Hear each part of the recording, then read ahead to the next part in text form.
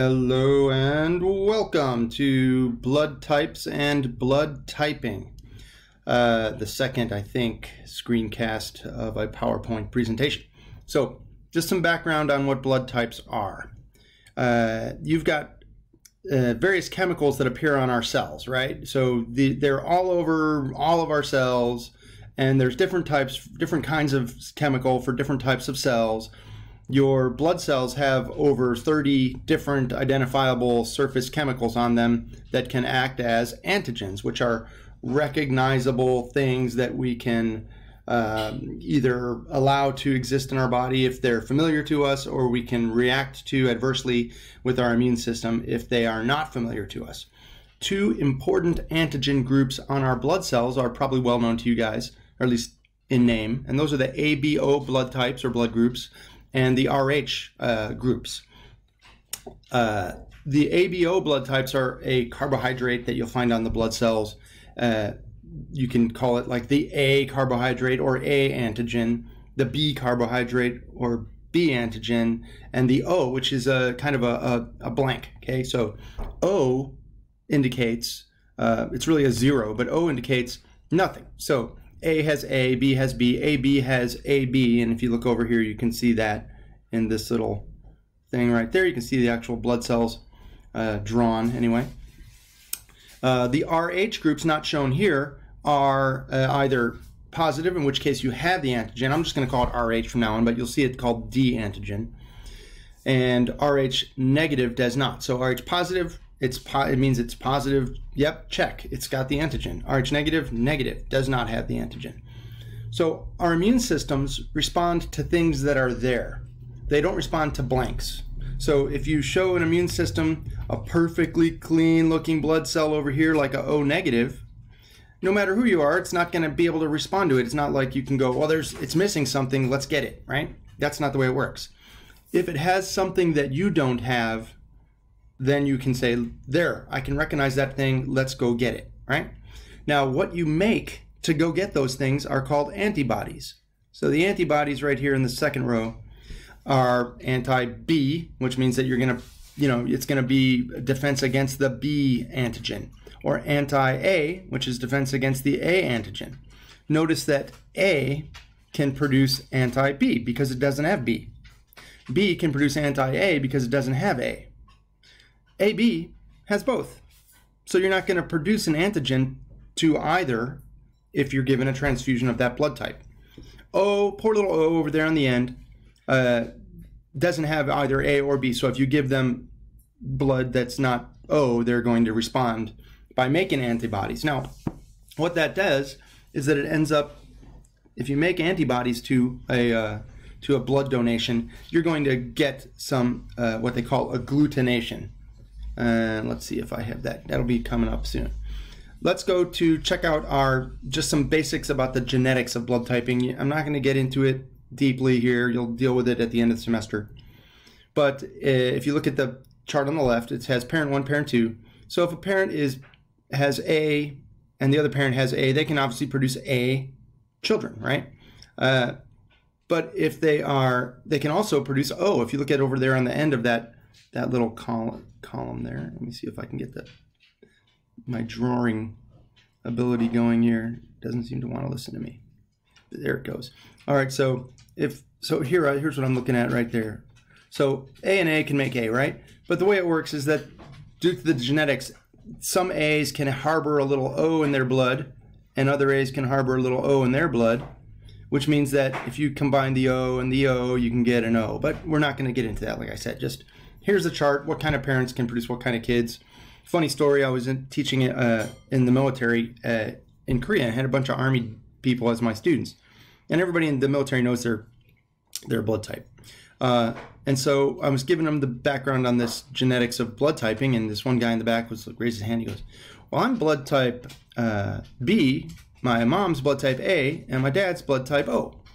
And I said, "No, he's not." and he goes, what now? And I said, your dad's not blood type O. And I go, he goes, yeah, he is. And I go, uh, what I'm saying is, if he has blood type O, he's not your dad. And the guy was like, he turned white as a sheet. Came back the next class and was like, I called and checked and I was wrong. He was blood type B. And I was like, yes, that's possible. Anyway, uh, now the RH factor works kind of the same. Uh, R, the RH is a fact, a gene that you have that's basically a dominant allele. I'm getting into it here, and I told myself I wouldn't. But the dominant allele, if you have it, you're going to express that that phenotype. You're going to have the RH thing on your on your blood. But let's hope I didn't confuse you too badly. So let's look at uh, how these guys uh, are responded to. Now, this is just kind of similar to the first slide where I discussed it, but um, notice if you look at the picture on the, the this table here, A, B, and AB all have these little little things on their surface, right, on the surface of their cells. Whereas uh, O does not, right? RH is similar, like I'd mentioned. Like I'd mentioned, the Rh positive has an antigen. So you can imagine a little D or something on there, a little triangle or whatever you want to imagine, whereas Rh negative does not. So if you are AB positive, you're going to have the A antigen, you're going to have the B antigen, and you're going to have the Rh antigen, which means that there's nothing out there that's new to you, at least with respect to these particular antigens. So if you get a transfusion from A positive, B positive, B negative, AB negative, O positive, whatever. Nothing on any of those cells is going to surprise you. Therefore, you are the universal recipient. O negative, as I mentioned, doesn't have any A or B, and it's negative, so it doesn't have the RH, which means that it's like a blank slate. So if you're O negative, uh, you are the universal donor. You can donate to anybody. Next. All right here is a compatibility chart. So uh, if you look at the donor on the top and the recipient on the on the left uh, column there, you can see that as a donor, O negative can give to everybody, right? As a donor, AB positive can only give to AB positive because the, as a recipient, AB positive is the only guy that can recognize the A, the B, and the positive. All right. So I say here that O can only accept O negative because every other type has a surprise, you know, something new. AB positive can't be surprised. It's got everything. It's the total package. Kind of greedy though because AB positive can only donate to AB positive, right? So if you are uh, if you're a person that is AB positive and you get into a car crash and a bunch of your blood shoots out, you can take blood from anybody. Uh, poor little O negative down here as a recipient. If you lose a lot of blood, well, you better hope there's some O negative blood on stock for you, right? Which, by the way, is why the uh, Carter Blood Care keeps calling me because I am O negative. Now, when we do that blood type test, and you watch the video that has it, uh, you can see that these reactions over here on the right are called agglutination. So if I put blood type A positive into on these little cards, these little placards that we had, and those placards have an anti-A antibody, anti-B antibody, anti-D antibody, and then the control's nothing, right? Well, the anti-A antibody re reacts to this A right here, and it's going to clump up. It's going to agglutinate. Uh, there's that. I'll put it in orange later.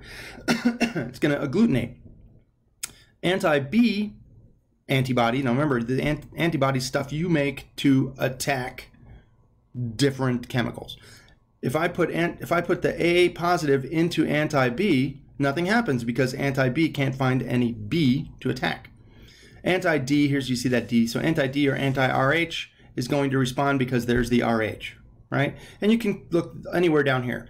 AB positive when put into these into this test is going to have a response for A, for B, and for RH. O negative when put in this test won't get a response out of anti-A, anti-B, or anti-RH because it's got nothing, right? As you can see, uh, like I say here, I'm the I'm O negative, uh, which means I've got these clean blood cells. I can give to anybody, but I can't. I can only take from O negative. AB positive has all the antigens nothing you can give it. It's going to be new to it, and therefore it can receive any from anybody. But it's kind of selfish when it comes to donating. All right, I hope that helps. Uh, study the videos and uh, eat your vitamins and uh, uh watch, look at the photos and study hard. Please stay up with this material.